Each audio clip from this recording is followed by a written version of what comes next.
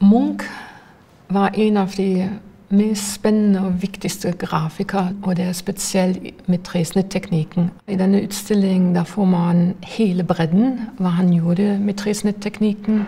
Man kommt näher zu Materialien, man kommt näher zu Aufdrück, zu Platen, man kommt näher zu Munk selbst. Munch laget ja rundt omkring 800 grafiske motiver. Og vi på Munch-museet har to tredjedeler av trykkplatene bevart i vår samling. Vi har også en god del trykkplater, rundt 30 stykker, hvor vi har ikke noe motiv av.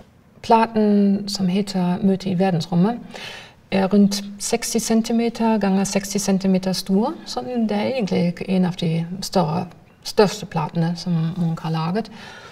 Og er hovedsakelig bearbeidet i øverste delen. Og man ser to personer som flyter mer eller mindre i rommet. og Derfor er det også tittelen 'Møte i verdensrommet'. Og uh, vi viser denne trykkplaten og tillater oss å spekulere litt hva Munch kanskje kunne ha laget med denne platen. Og nå kan vi jo ikke eksperimentere med selve platen selv, ikke sant? så derfor har vi funnet frem rundt 20 motiver.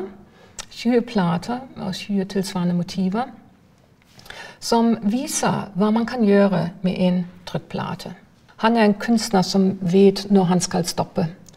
Og uh, hvis han jobber med materialene som lever, liksom tre, da er han ofte så minimalistisk og vet at treet skal også snakke for seg selv. Du har her en sjanse å fordype deg i et område som var enormt viktig for Munch.